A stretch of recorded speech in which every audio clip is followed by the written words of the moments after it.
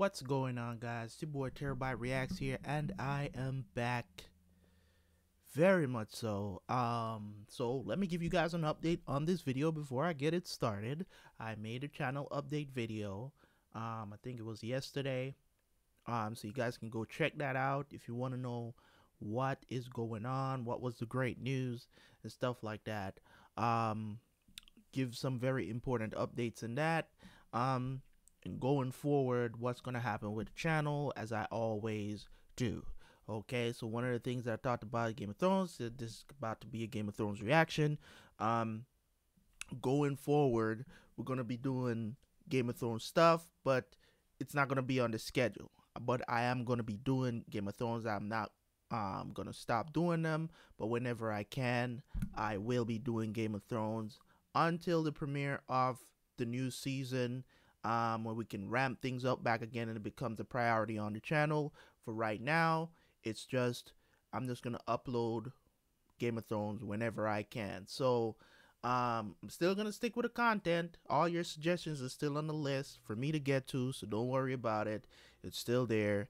I'm still gonna react to your to your suggestions and all that stuff. If you still have more links that you want me to react to, don't hesitate to send them to me because they're on the list and I'm planning to do them whenever I can because they are days when I'm not gonna have anything to react to. Um, and those days are more than likely gonna be the days when I do Game of Thrones stuff. Um, just in between everything, but everything else is gonna be on a schedule that's on the channel.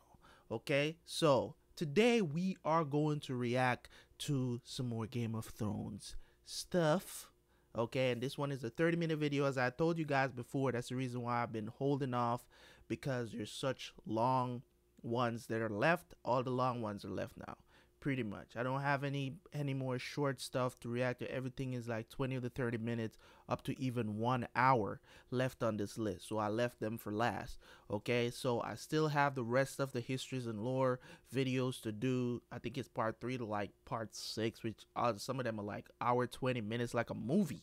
You know it's like it's like a movie watching a movie. So this one here was suggested um, of course, a while back, a while back, I want to say like a month ago, this one was suggested. Um, this is the top 10 best and worst changes from the books done by Nerd Soup. Okay, you guys know that I did a lot. I did a couple of Nerd Soup videos um on the channel so far. I love their format, their animated format that they do on their YouTube channel. So let's hear what they have to say. Obviously these guys have they have read the books they have watched the show so they're just gonna be kicking it talking about um the best and worst changes from the books. Um so that will educate me also because i have not read the books i've only watched the tv series. So let's jump into it man. No further ado this boy nerd soup and I don't know what the other guy's name. I um I know the main guy is Nerd Soup. The guy that sits there, look, I don't know if that's supposed to be a beer or whatever. Um, I don't know who he is. Uh, okay, let's jump into it. Game of Thrones best and worst changes from the books. Now you haven't read the books, right? I read the books twice before you picked one up. Right? Relax. How many times? Twice. Twice through. Read, yeah. Okay. Well, you, then you're a nerd. Nerd Soup.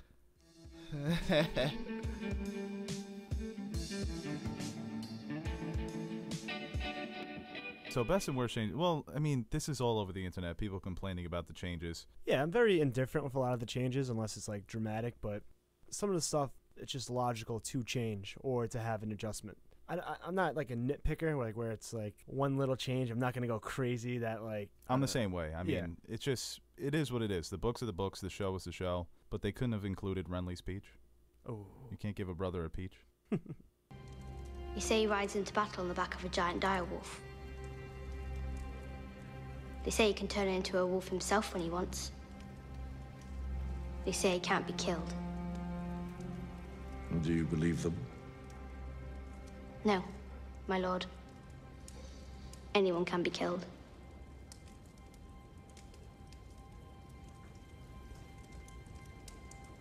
I would say my second. This is probably my second favorite change from the books. Arya and Tywin, their conversations. these scenes are incredible between these two characters It's just so great to see a young, great actress like Maisie Williams with the old veteran Charles Dance. to Just- compete with him to and keep just the up char- and the characters too. Like they're both fan- they're both great, but like the characters they play are so great too. They're very similar characters in a way. Yeah, they are. Tywin even says, you know, you remind me of my daughter, but think- better.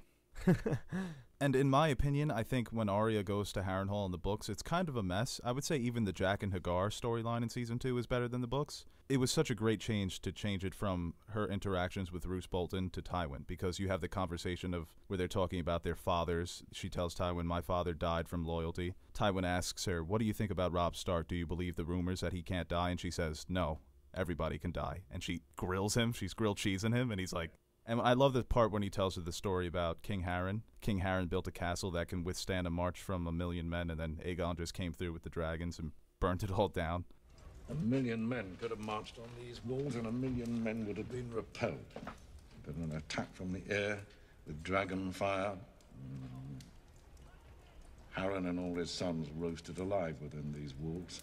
And Arya's even spitting like, "Hey, don't forget about the sisters, Vis- Visenya and Rhaenys." And Tywin's like, "Oh yeah, I'm sure I remembered that." I also think she's the only character in Game of Thrones who ever made Tywin Lannister laugh.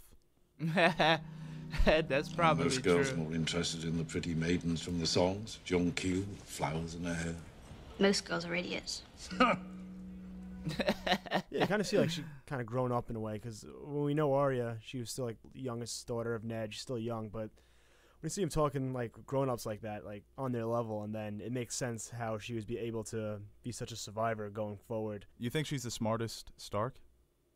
She's probably the most resourceful. Uh yeah. Um so I'm going to be giving my opinion on these of course um of them talking about the changes cuz the changes are in the show from the books.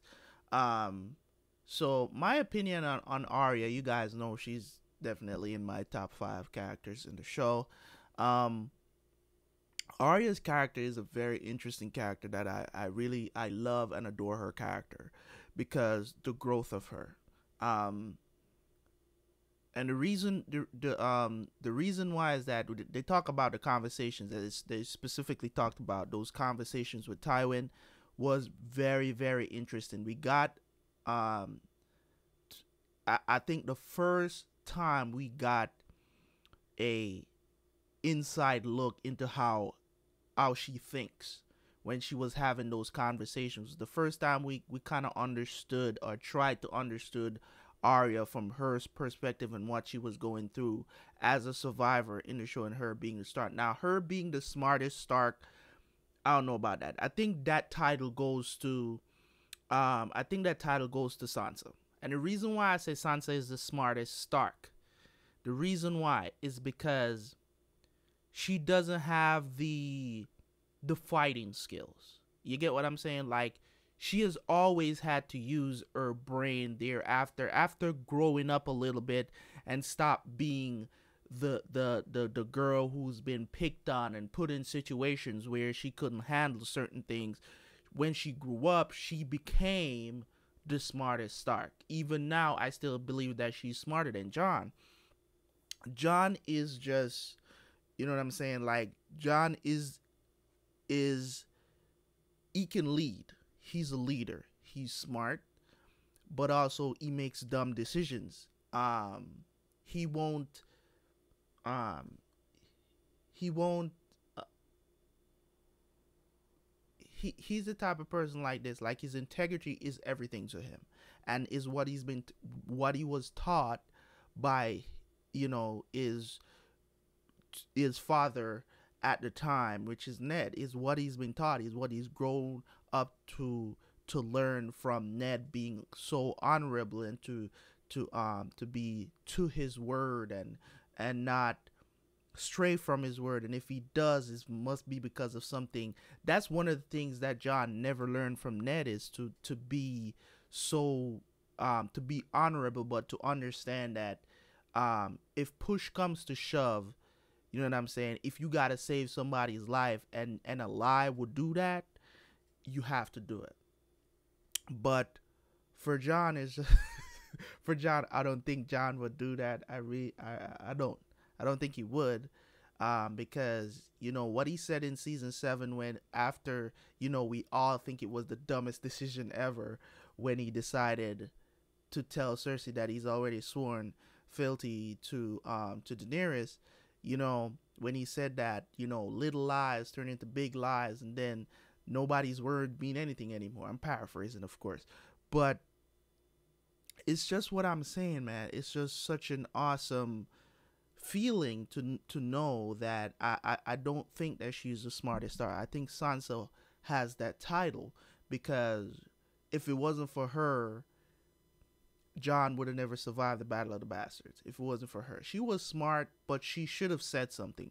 She should have told Jon that she was gonna get Littlefinger. That she wrote that letter. I, I don't know why she lied about that. It made no sense to me. Maybe you guys get a better sense of what that meant or why she didn't tell him the truth or why he didn't not necessarily the truth but why she didn't tell him that hey i can get littlefinger to get the veil here um, and that's what i'm going to do so that we can have more men. I know i know littlefinger will come through for me you know and she never did that. She never said anything to him. As a matter of fact she lied and that's the reason why brienne had asked her like why did you lie? That it, you know, it, it just didn't make sense. You know, according to the plot and how everything was going, there was no reason for her to hide it. Or maybe you guys picked up on something that I didn't pick up on. You can tell me in the comment section, okay? So, Arya, I do believe that she has some real, as we would call it, some fire conversations with Tywin, right? She did. So, uh, and it really introduced us so much more into her character, even though they were already showing you that she's a survivor, you know, but she was basically being still being taken care of and not being, you know, she was very brave. She um she didn't see her father die, but she was there when she died and all that stuff. So to see her grow up to be the type of person that she is in season seven, it was a, a great journey to see. So that was an awesome change if it was so different in the book. You get what I'm saying? Like maybe um, they were saying that it they changed it from Roose because she had those conversations with Roose Bolton. I don't instead of Tywin. I think that was a great change, in my opinion. If if it was Roose, Roose would have been. He, he's a great character. Don't get me wrong, but and he had some really good conversation too. Who knows? Who knows? It might have been better thing. It might have been the better thing if they went along with what happened in the books, but that was great all in all, it was still great. You know, I think those conversations were were awesome. But who are we? Hmm? Okay, the Faith Militant. We have no names, no family. Every one of us is poor and powerless. And yet together, we can overthrow an empire. Hmm. Well, the Sparrow is like in the books they're great too, but I, I, I never felt when I was reading it when you're reading Cersei's chapters, you still like it's still Cersei to you. In the show, they make her out to be her own protagonist, where you're rooting for her in her own subplot, and it's just amazing writing. It's also the benefit of watching these characters on film rather than just seeing them from Cersei's perspective. Like you said, it's still a Cersei chapter, but these characters in the show, they almost take over the whole damn kingdom. And one thing about them is that they're so damn hateable that they made the fans root for Cersei. Yeah. That they made the High Sparrow. He's such a prick. He's so condescending, but he acts like he's so innocent.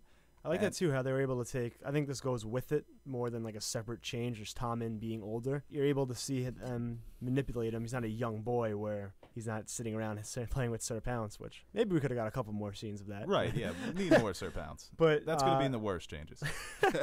but the manipulation of the High Sparrow to Tommen, where you absolutely there were points where I hated Tommen more than Joffrey, which is right. Incredible. People wanted Joffrey to come back and just kill these guys. Yeah, I'm like, where's Joffrey? I need Joffrey to come wipe these guys out. Like, I hated Tommen. Yes, I totally agree with that sentiment. I think at one point in my reactions, I was saying, "Where's Joffrey, man?" You know, Joffrey would have came in with the hammer a long time ago. All these dudes would have been dead.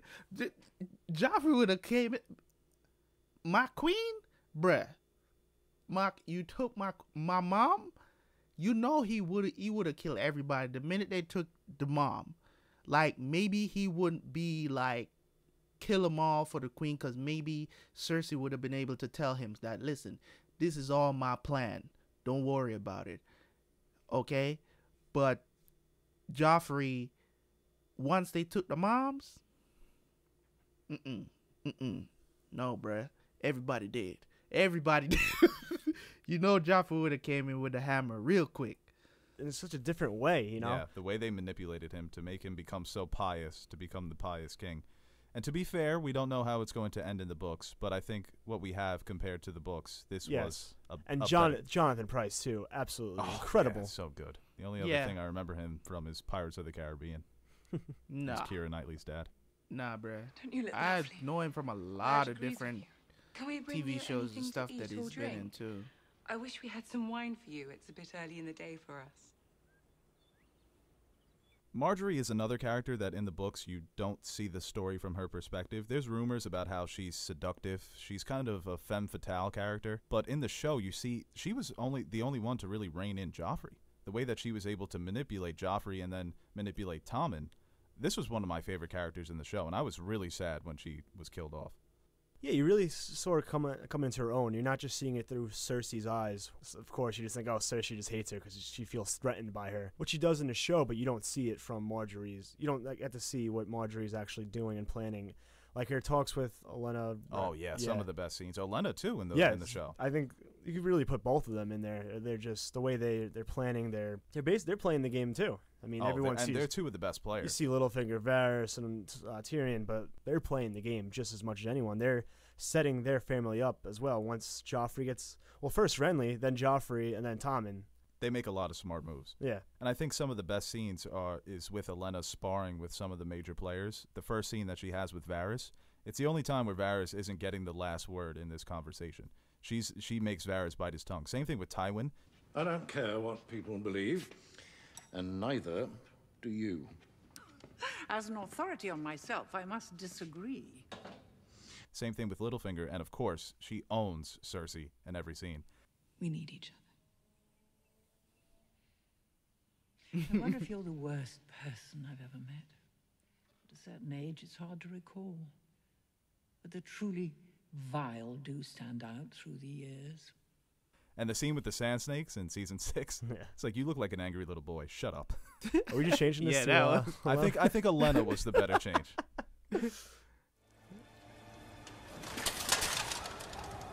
Oh really, Bronn? You don't fight with honor. No, I Fight to win. he did. I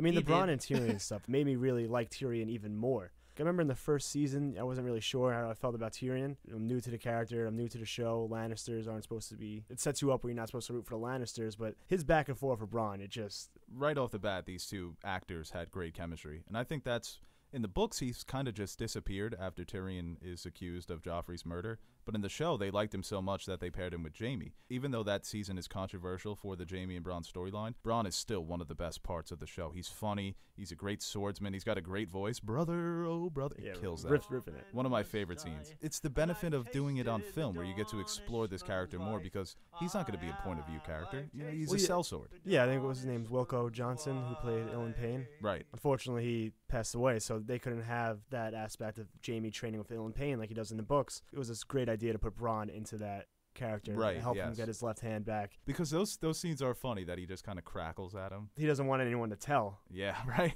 right. It's kind of funny to do a jab with Bronn. Like it's like don't tell anyone. It's like oh well, you pay too good. Like Yeah, yeah, right. And there's an awesome scene in the books though, because he kind of does disappear, and that's something I don't like. But he names his wife's bastard son Tyrion right after Tyrion gets accused of all that, and it just drives Cersei crazy. And it's it's so funny. He's such a troll. yeah, it's it's amazing. And those actors hate each other in real life. Oh yeah, I heard that. Yeah. Does loyalty mean nothing too. to you? They, I think they were It means everything to me. And yet here you stand. And yet here I stand. I haven't seen a lot of people too? mention that Jorah is better in the show because I think he kind of goes under the radar. But for me, the way I read Jorah in the books, he was kind of this sulking, brooding, uncharismatic character. He was kind of perverted too, the way he comes on to Daenerys. He's very charismatic in the show. He's charming. He's a great swordsman. He's one of the most complex characters, even from the stuff that we don't see, all the stuff with his wife, to where he ends up in the beginning of Game of Thrones. I think he's a much better character in the show. A lot of it comes down to like on screen, it just makes everything better, and I think that uh, Iain Glen does a great job with the character as well. Much more handsome in the show. Like you're actually like, oh come on, Daenerys, give my man a shot. I mean, Yeah. In the in the books, Nah, he's bruh. more described as he is like he takes on his sigil, the bear, big, hairy, brooding guy, balding. I think his chemistry with Daenerys is better on screen with Emilia Clarke. When they castrated you, did they take the pillow with the stones? I've always wondered. Have you? Do you spend a lot of time wondering what's between my legs? I mean, we've talked about this on several occasions. The scenes between Littlefinger and Varys are just gripping. Probably the best written scenes, I would argue, in the entire show, because you really get what Game of Thrones is about with these two characters, especially since they've changed Varys in the show. But the quips, the wittiness, uh, the intelligence, it's all on display when these two characters are in the same scene. And the actors who portray them, Aidan Gillen and Conleth Hill, incredible. Both Irish. They're both kind of perfect for the roles if you think Oh, they're both it. Irish. Perfect casting. Yeah, their conversations, it just adds so much to their background where you and it doesn't really give much away. It it's would very be subtle, it's very it makes you makes you think more. and you wouldn't see this in the books because it would be impossible, more so Varys than Littlefinger, to have a point of view chapter for these characters because it would spoil so many things. If you got a Littlefinger point of view chapter in book one, all those surprises from Feast for Crows or Storm of Swords would be ruined. So it's great that we get to see these characters interact. But you could see that there's a little rivalry in the books, but it's on full display in the show. Do eunuchs have a phantom cock? Next time you think about naked girls, Oh, this was a If you're worse change. Oh, okay.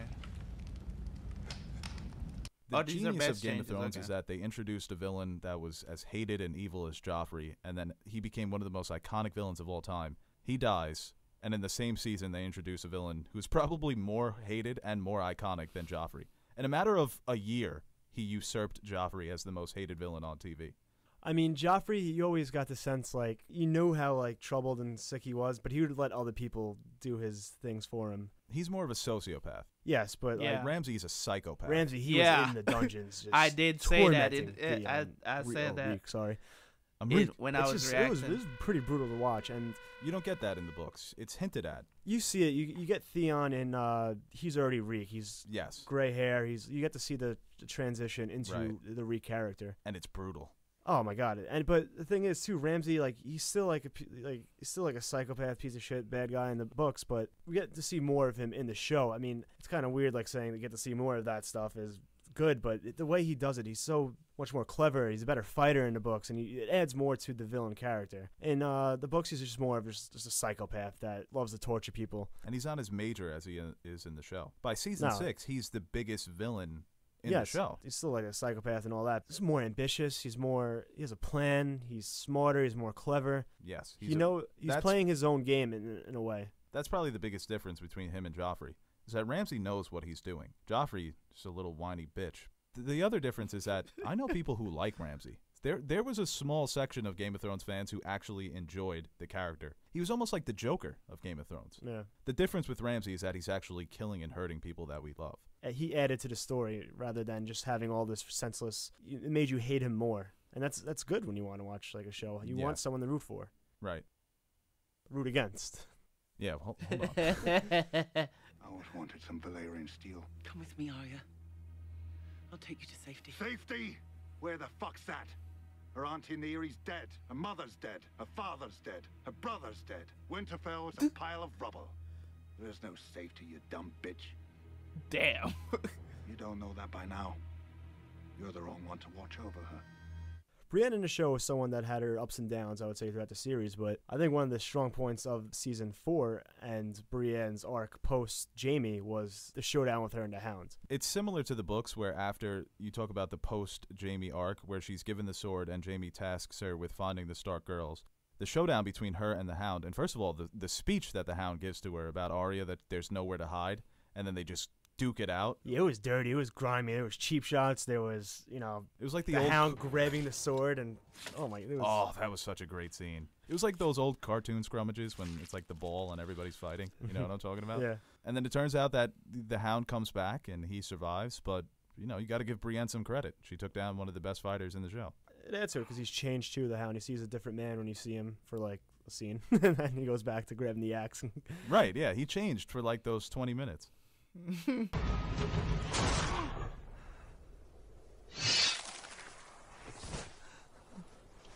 How many times have we seen them in the books? Twice, I think. the opening scene and um, and then son. The way that they've handled them in the show, they've made them so mysterious, so evil, and I think the Night's King himself is the best villain that the show has ever done, and he's been in like three episodes. But they're so mysterious and they're so evil, and, and you know that they're lurking behind the shadows, and they haven't fully exposed the threat yet. But I think in the show they've handled them better because we've seen these these momentary glimpses of the true power of the White Walkers. I agree that like when you see less of something, it, be- it adds to it more. But I think in the book it's it's too much less. Too yes, it's too less. You get you get like I said, you only seen him a handful of times in the show, but even the times every time you see him, it's like a jaw dropping. Oh my god! oh, moment sh- when The this scene is- with yeah. Sam. Yeah, every It's a every time they're on the screen, they absolutely just just waiting here on the edge of your seat. You want to see what's going on because you want to like, oh, we're finally seeing them. Let's see what, they, what they're doing. Can we like finally get some more of it? They tease it just a little, tease it, tease it, tease it, and it just gets bigger and bigger and bigger, like the mystery surrounding them. Right, and when that showdown happens, the Song of Ice and Fire, Dragons versus Walkers, it's going to be that much better because we've been patient and we've waited. They're going to deliver because how can't they?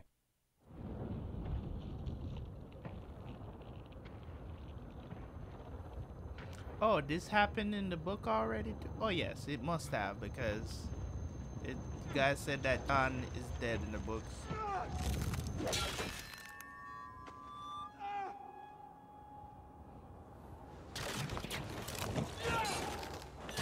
Hmm. My favorite episode that the show has ever done, Hardhome to me. In the books, it's hinted at that there's this fight between the Night's Watch and the White Walkers, but in the show, we get to see it. And the moment when Jon Snow is fighting the White Walker, one of the four horsemen, and he picks up that Valyrian steel sword, he picks up Longclaw, and it clanks against the, the White Walker's spear. Chills, uh, just chills thinking about it right now. It's the best moment the show has ever delivered. It's incredible. Like I remember when I was watching it and he grabbed that. I'm like, no, no, what are you doing? I thought he was gonna die the whole time. I'm like, this is it. This is where Jon dies. And then when he survived, I'm like, he's never gonna die. And then he died. Like two episodes. oh no, when he when he stops that blow, it's I was going, let's fucking like I was going crazy, and then he comes, hits him right there, because The look on the White Walker's face too. he was shocked.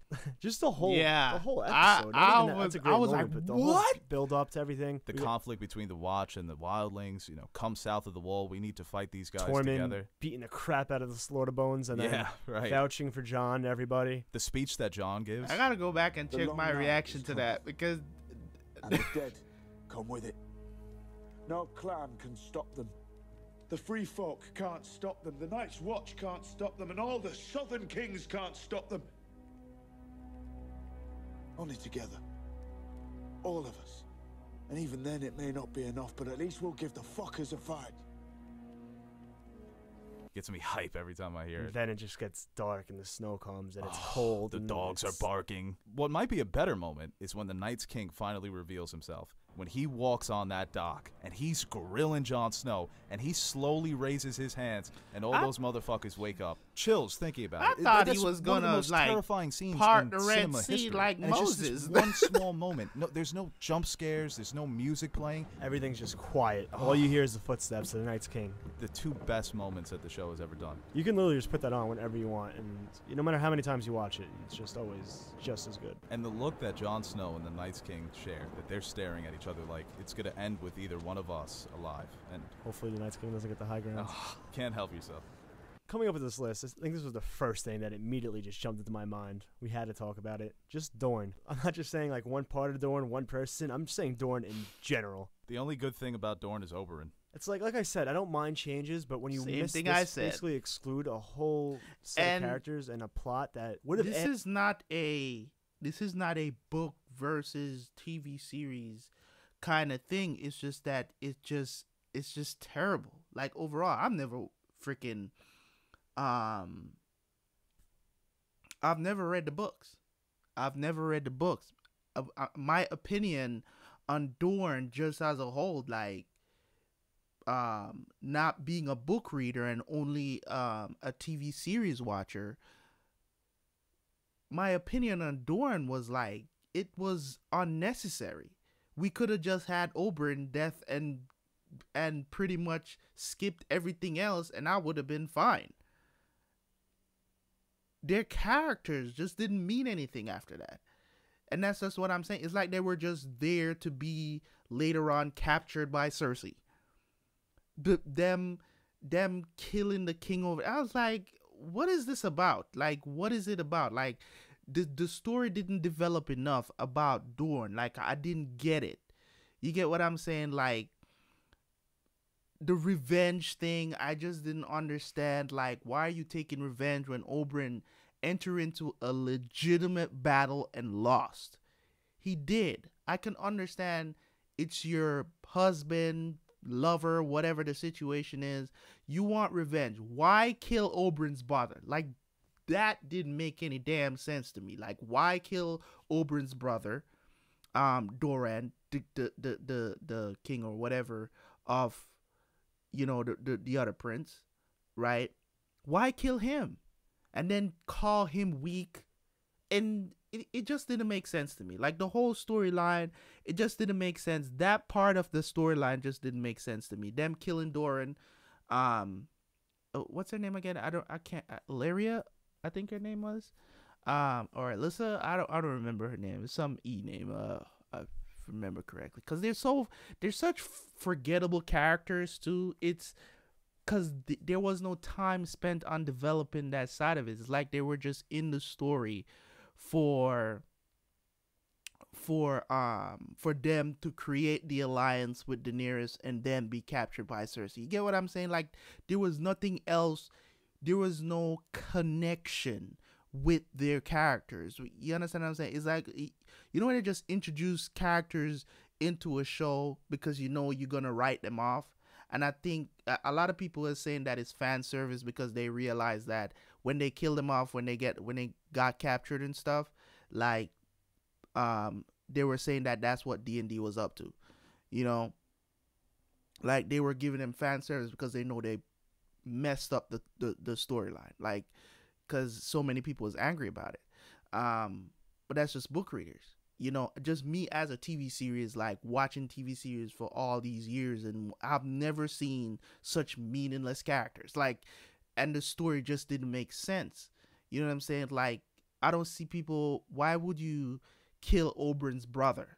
Like, I just didn't get that. Like, you could have, because he didn't want to take revenge um your reasoning is stupid. Why kill the man? You understand what i'm saying? Like it just didn't make sense to me. Like you're gonna kill him because he he's decided not to avenge oberyn because oberyn legitimately entered the fight. This is he, he made a decision to fight for tyrion and lost. Got his head smashed like a watermelon. I hated it. I didn't like it one bit. Um but as I explained after my reaction to that, I explained quite exquisitely, if I might add, that it's illegitimately entered the fight. So I can't be angry at the mountain. I can't be angry at Cersei. I can't be angry at anybody but Oberyn because he entered the fight, got cocky, want crying out for answers about his sister, wanting them to admit to it. He got trapped he had the mountain. He should have just killed the mountain. But no, I need answers. And we all know the, the end of that story. But in the end, I just I just didn't understand. Like I I get it. I get that Jaime had to go there and, and, and get his um Mar- Myrcella. I get all of that stuff. I get all of that the other stuff, the the killing of Doran just didn't make sense to me.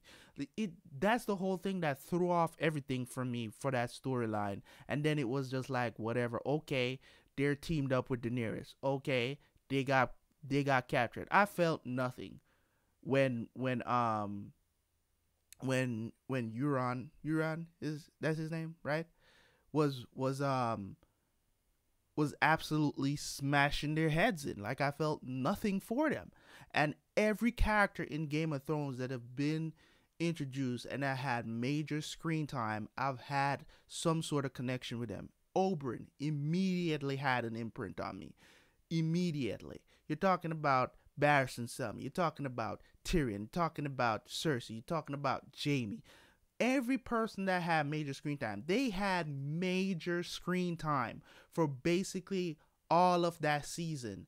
And I felt nothing when when things were happening to them. It was like, okay, I guess this is what they were here for. You know what I'm saying? I was just, I, it, the only thing it that surprised me was what Euron was just a beast. You know what I'm saying? When he was taking when he was taking them out, like looked like a, a rabid dog. You know?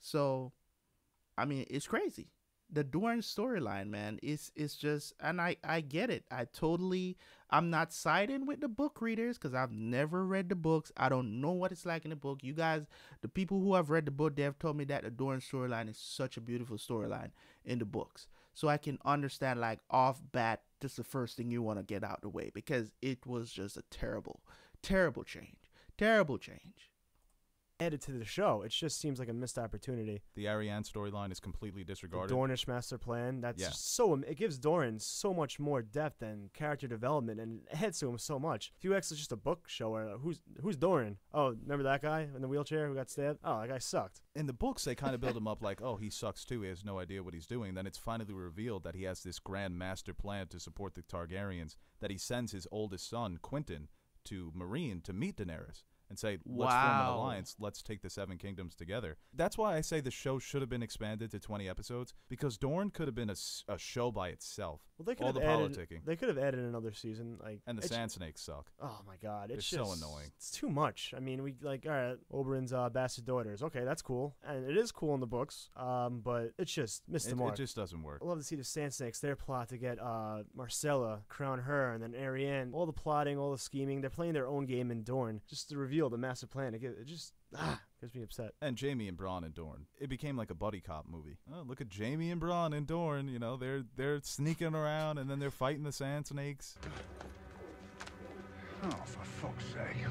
Even the showrunners, like the way they just got rid of him too, was just like we know we fucked up. Yeah, the so. way they killed Doran in uh, episode one of season six or episode two. It's like, okay, we're, we're going to move on from this. I think just the worst part about it, too, is like how great Oberyn was in the show and Pedro Pascal. Like When I pull my blade, your friend starts bleeding quite a lot, I'm afraid. So many veins in the wrist. That's one thing they got right. Yes, it was so great, and then they just kind of shit on his legacy, kind of. Like, yeah. Oh, we don't we don't hurt little girls in Dorne. Um, oh, I hated that. And then Ellaria Sand. What's the best way to avenge uh, Oberyn? Kill his family. They love Myrcella in the book. No, they want they want her to be the queen. That's their whole. That's their plan B. Their plan A is to marry their oldest son Quentyn to Daenerys, but he's nowhere to be found. He's replaced with Trystane, who gets stabbed through the fucking eye. So great, great job, D and D. Oh, I'm gonna get pissed at them. Areo Hotah. Oh, every, I'm gonna get pissed as this list goes on. You're a greedy bitch. You know that this is a character that had great potential as a villain because in the books he's one of those characters that he's very mysterious. Nobody knows where he's been for the entire series, and then he kind of just shows up and he kills Balon Greyjoy. And he does that in the books. He's probably in the show for an episode where he takes the throne and then he's like, "Let's go kill my niece and nephew." It's similar to Dorne, where all the politicking, all the infighting for the Sea Stone chair, completely disregarded for one scene. There was like seven people fighting for the throne for the Sea Stone chair. I wish about that. Like Victarion's such a great character too, so they kind of combined him at Euron. But Euron isn't doesn't look and seem like someone that you could took Euron and Victarion and put them together, created the super Greyjoy. He's kind of just like no, he kind of shows up, makes a couple of dick jokes, and he's like, "I'm the king." In the books, there's, you know, there hasn't been a kingsmoot for hundreds of years. There's never been a queen. The dragon horn, that's one of the things that we think they're going to just disregard. Even in the books, we don't know if it works, but it would have been so cool if they introduced this earlier. That would have been a real threat it gives to Daenerys. Yeah, it gives them a fighting chance. Now we just think like, oh, this is another guy just gonna get smoked by the fucking dragons. He may win a battle or two on the sea, but who cares? Yeah, right. Who cares? Nobody cares about this character. It's they should have just left him the House of the Undying change, it's the one change where I think it was handled very well in the show for the budget, for the time. You couldn't have done all that happened in the House of the Undying on TV, but I wish they would have done more. The visions that she experiences, Daenerys, they're so important to the future of the show. There's there's so many things that happen in the House of the Undying that we could have went back and said, "Oh, that was a little bit of foreshadowing," and even things that haven't come yet. So I think Quarth was Saw a little bit of it. Uh, Quarth. Karth. Karth, the greatest city that ever was. Yeah, uh, I think they Karth. were both kind of dull in both the show and the books. The House of the Undying is something that fans still look back to to make their theories for the books, and it's it's great because there's just so much there. It adds some depth. You see you see a little bit of Rhaegar, you see a little bit of Robb, you see you know Yeah, she Things- sees the red wedding. things Daenerys has no business seeing being foreshadowed. She even sees a vision of her father telling everybody to burn down the Red Keep. She sees a vision of a blue flower that kind of indicates the true parentage of Jon Snow. In the show, they don't really hint at who Jon Snow's parents are, so this could have been a great moment of foreshadowing where people could have looked back on and said, "Oh, okay, that's what that meant." I mean, it's cool you get to see like Jason Momoa again as Khal Drogo, but yeah, that was cool. in the show in general, like the whole Quarth was just kind of it was very dull. Now this is probably one of my more like nitpicky ones, but I think it still deserves to be mentioned because the way Jon's death in the books, I feel, was just a wave of emotions, and it was just spectacularly written. Yeah, because I think you have more of the build up in the books with all the negotiations that he's doing with the Wildling, and when he gets the letter from Ramsay Snow, and there's also a hint of doubt of what happened to Stannis in the books. In the show, we know that Stannis died. I think the pink letter in the show was good too. Well, you don't know if it's from Mance or Stannis or Right. Ramsay in the books, and In the show, we kind of knew how he was going to come back and that he was eventually going to fight Ramsay. In the books, it's all up in the air. Who knows what's going to happen? I mean, just the wave of emotions. He gets this twisted letter from, let's assume it's Ramsay, but it's really open ended. The whole writing, it's fucking gut wrenching. It's fucking disturbing. It, but it gets you, it gets Jon like excited. It gets the reader excited. So Jon's ready to go south. He's finally going south to try to take Winterfell, and he gets some wildlings going. There's ruckus going on. There's chaos at the wall right now. No one knows what's going on, and then out of nowhere, he just gets stabbed to death. It's smoked, yeah. The better it was so much better like his brothers were crying it wasn't like a coup like to you could tell it hurt his brothers to kill him it wasn't Yeah, you could see where they're coming from. You know, Night's Watch, they've been fighting the Wildlings for thousands of years. This was a controversial decision. but it's not mo- as hate filled Right, they're crying right. it's like we have to do it it's for the watch And then the final word. has to be ghost Well, that's the thing. That well, that's going to be uh, number four. We'll address that in number four. To me, I can understand why the show didn't make all the Starks wargs because I think it would have been more confusing, and I think it makes Bran more unique. It gives him that specific magical power. But I can also understand why all the Starks should have been wargs, specifically for Jon. The way that Jon is going to return in the books is incredibly clever. The way that George has devised this, that he has this this white direwolf, he names him Ghost, and people believe that he warged into Ghost, and that's how he's going to come back. That they're going to fix his body, and then he can Mm. warg back into Jon. Yeah and I which think, is incredible. yeah it's it's, mind blowing. it's, it's amazing and i think like the best thing about it in the books too is that it's not no one they're not all you see robb conflicting with himself robb has a very strong conviction he has to remind himself that he's not a wolf like he that's he says that i think a couple So in the um so in the books all the Starks are wargs? Wow, that's incredible. That man, I need to get start reading this damn books, man. Anybody want to buy them for me? I'm just kidding. I'm just kidding. Yeah, I I'm I've already ordered the books. I need to get the books. Uh yeah, I do need to get the books though. and start reading them. I was going to do the um I was to do the audiobooks. Um but I said let me get the paperback. So I'm getting the paperbacks. Um but hey, if any one of y'all want to throw in a couple dollars, I'm just kidding, guys. Just kidding. All right, I'm just kidding. Don't take me seriously.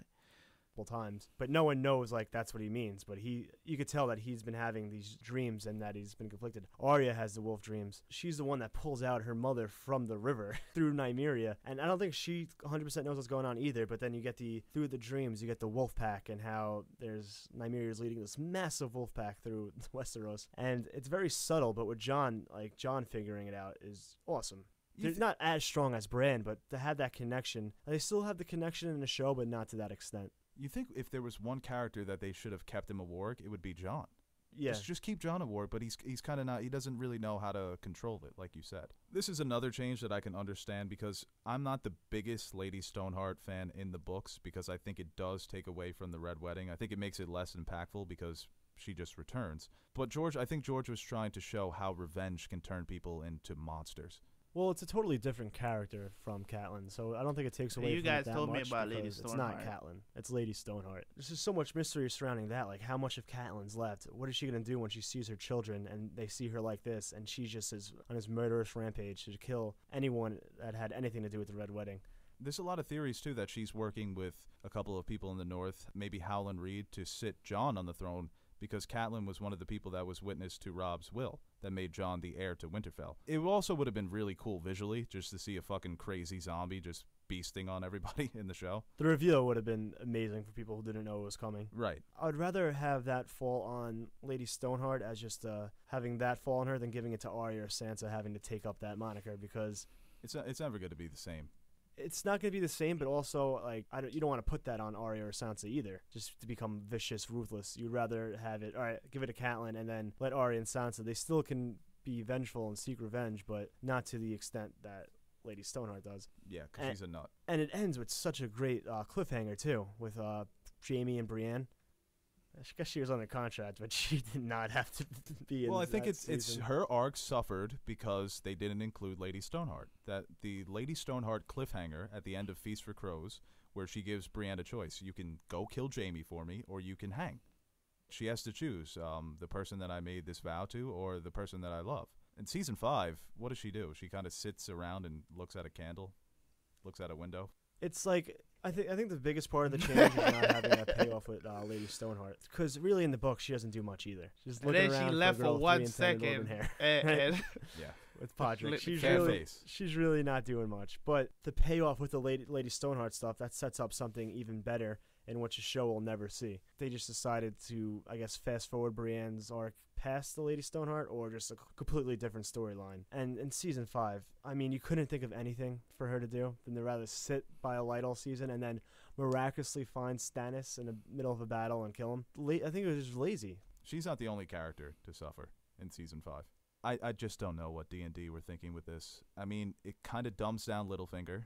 It puts Sansa in a situation where she spent all these seasons being tormented by Joffrey. They finally get her away with that. She's finally being built up. She's understanding the game. She's becoming confident. She looks like a completely new character when she dyes her hair black.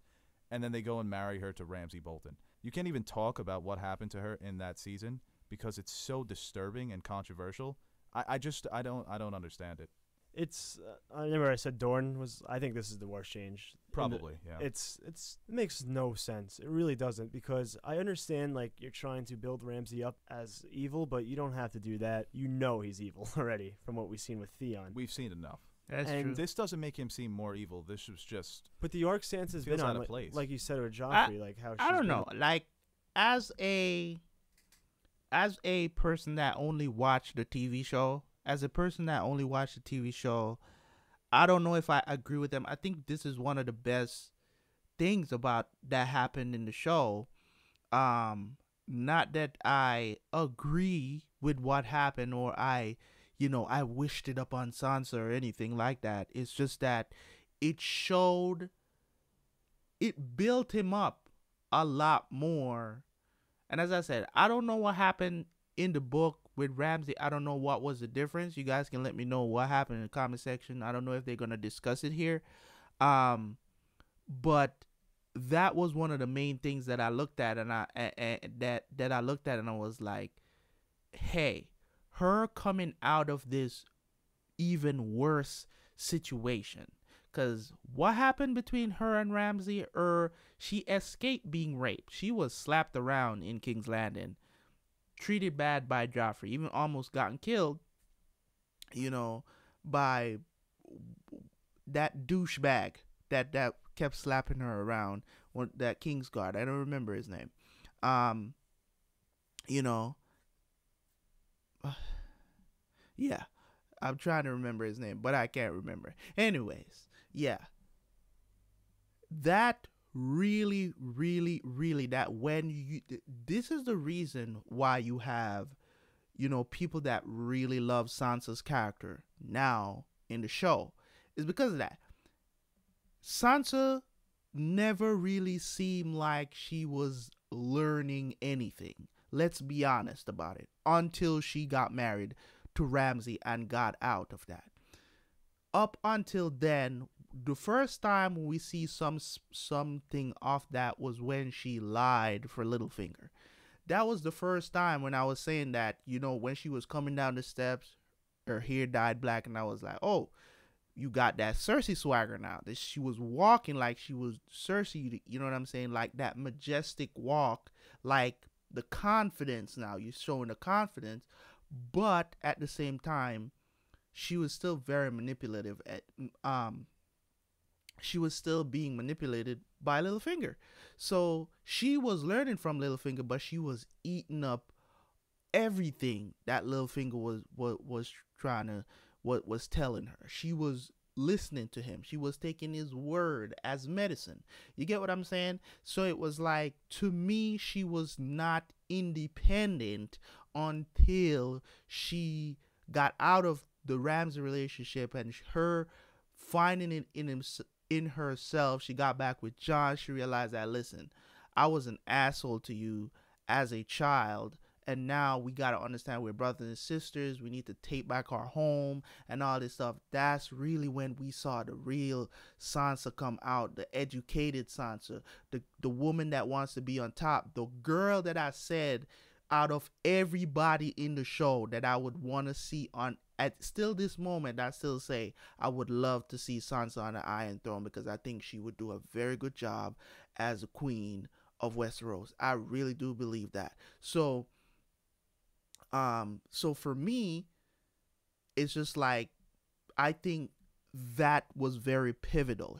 I think, in my opinion, just for the TV series and forgetting what happened in the books, I believe that that's one of the best things to ever happen um, in the show as as a situation for Sansa to go through. Um, you know, it, it's kind of tough for you to be, you know, for anybody to go through that. You know what I'm saying? Being a virgin and being raped as a virgin, that wasn't cool. Being and being in a marriage that you know that this guy you didn't even know because you because and Littlefinger put her in this situation. Him for the first, I think this is the only mistake Littlefinger e- ever made in the show. It's the only mistake that he made up until they they figured out, you know, what he was doing and figured out what was happening because of Bran and stuff like that, and they killed him. But at the same time, I do believe that um, that was the only mistake he made up until then. He, he was playing the game perfectly until then. You know what I'm saying? And it was the only bad decision because we know, because we saw what he did to Theon. So we was like, what are you doing, bro? You know what I'm saying? That's we laying back like, what the hell is this guy doing? Like, we don't expect Littlefinger to put Sansa in that situation because obviously he doesn't know. He, he said it himself in the show that he doesn't know much about Ramsay. So that was bad on his part to not do it. It's the first time I he never did any research. You know, so that was very weird. But anyways, I, I kind of disagree with this. But as I said, I don't know what happened in the books, but I think this was very this part of it was very pivotal for Sansa's character all through this before, and you finally see her overcoming it in her own with uh, Littlefinger in the Vale, and then you just bring her right back down again. It dumbs down the Littlefinger See? character That because in the swagger books, walk, he set up. Sansa perfectly to be in a position to take back Winterfell with with him supporting her. But in the show, she just completely doesn't trust him anymore because of this miscalculation. In the show, it's kind of like it's over for him. I mean, instead of like finding for something for Sansa to do to help build, like she's already came back in such a strong way, and you already seen the start of her learning, starting to play play the game a little. And instead of adding onto that, where you can actually Littlefinger can basically create a monster in Sansa, where she's playing the game now, she's this new player, and she eventually will Littlefinger Littlefinger. Like I think that's something that'll be set up in the books. Littlefinger, You Basically, Littlefinger. just tear her down again. And I mean, even though she did come back strong now, she's like helped lead the Starks and helped the battle and all that. But he could have done that in a much better way. She could have done the exact same thing and became a real leader by learning from Littlefinger in the Vale. And another one of my favorite characters in the books and the show, he was but more so in the books is Barristan Selmy, and the way they just kind of The best swordsman of all time. Haven't we He's talked so about great. this Oh, wait, enough? he gets killed by a bunch of rich guys. Just mowed down. kicked him to the curb. Like for for no reason whatsoever. The actor who played Barristan begged them to keep him, and in the books, he's still alive and well. He's, he's leading. hand, he's hand of the queen. He's Yeah. fucking leading the army. He's and they could have kept him and Tyrion. They didn't have to replace his arc for Tyrion. It made no sense. Just keep them both. And he's such like it's just so sad. Like, like he he's finally made when he no says, sense Like, I to want me. to One lead of a, uh, a ruler that's probably the only thing my that se- I'm like, super angry serving. about. Yeah, a ruler that I finally believe in. Yes, and he, I, And his, the There was no reason to and kill a guy. when he tells None. her about Rhaegar, all the stories, Yeah. all the moments that they share. Great chemistry together. He was like the father that she never had. at least let him s- uh, see Daenerys have success. You know, like way too soon. He's a great It was advisor. such a shock kill. It was just for shock value. Like, oh look, another main character died. You have Tyrion, And Barris, became and, numb to Varys, it. and Oh, Daenerys, and That would have been a squad. A squad. even if like they change it to him It's dying not how you say in it, the bruh. pits, because then he's there defending Daenerys. He's not just patrolling and having some guys run up on him and stab him in the alley where he dies like a nobody. Yeah. At least go let him go out with some dignity, like a hero. Give him a noble saving death. Daenerys. Exactly. And in the books, he still might die. Yeah, I'm but it's it, I mean, it's going to be handled much better than it was in the show.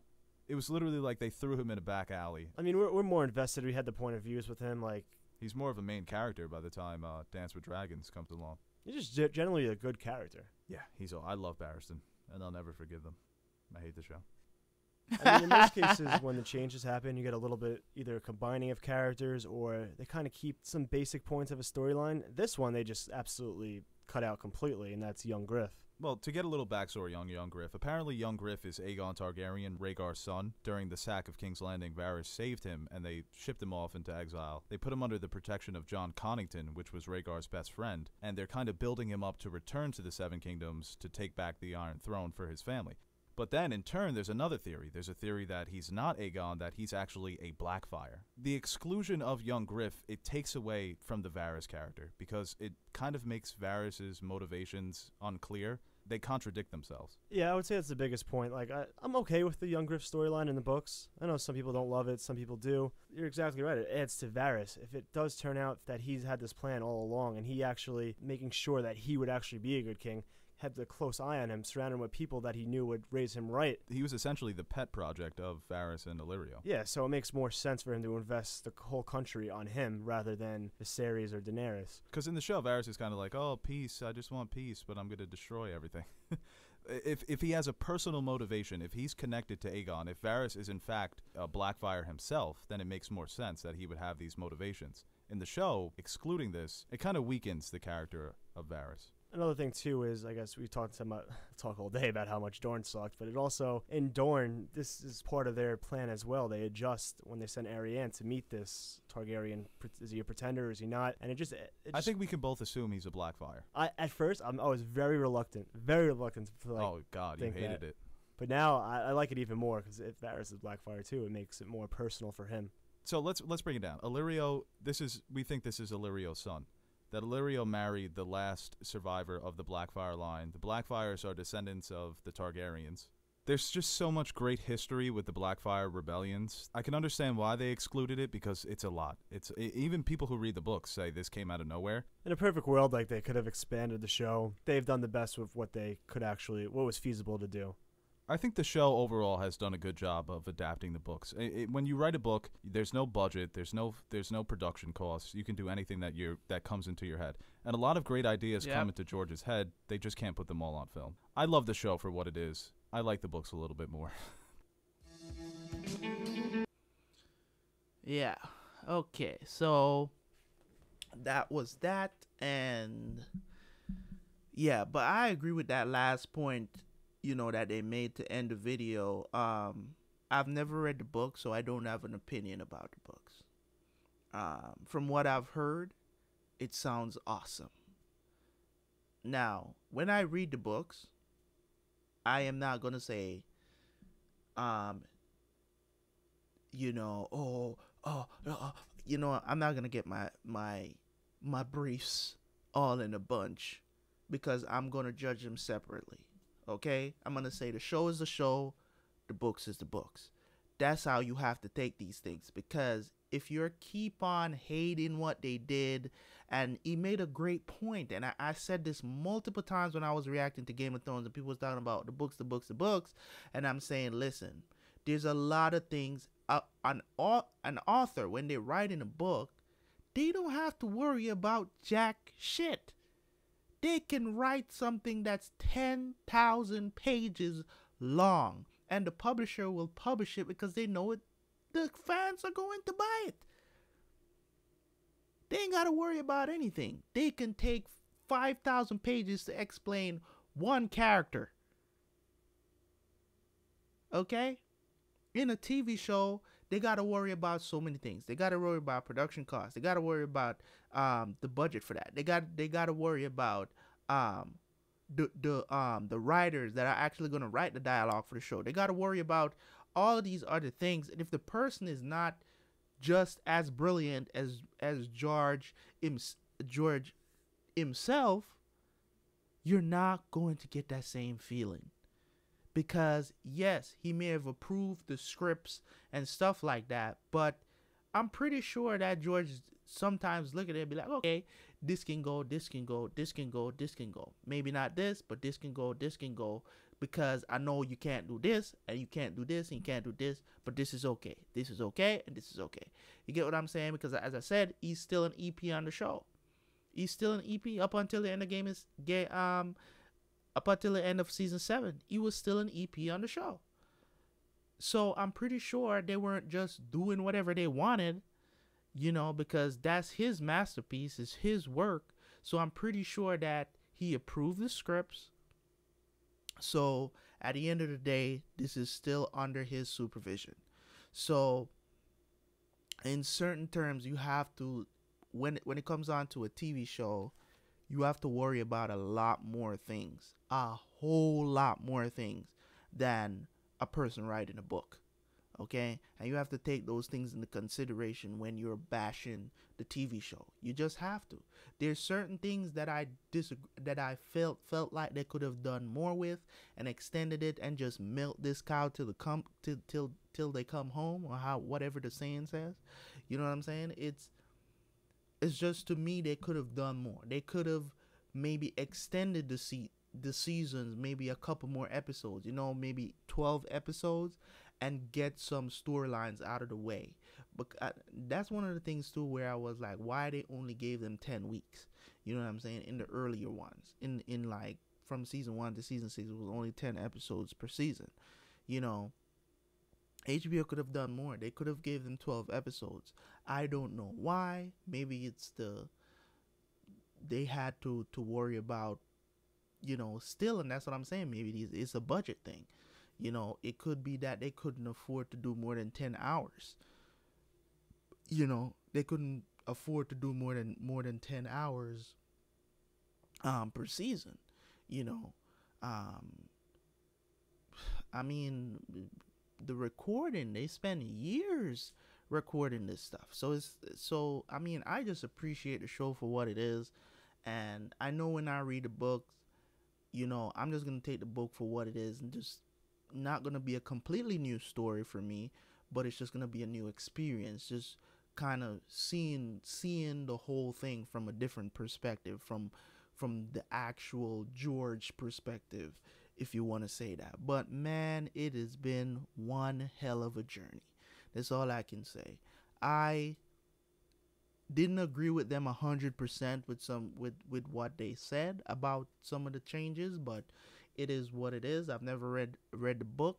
Maybe if I read if I had read the books, I would have had a different opinion. Maybe I would have agreed with them hundred percent. But I think one of the biggest thing that I disagree with them is um, I think that the Sansa Ramsay marriage was it was a big deal to me. I think she needed that to really really show who she is right now. I think she needed to go through that for her character. Um, nobody deserves to be raped. Nobody deserves to be treated that way.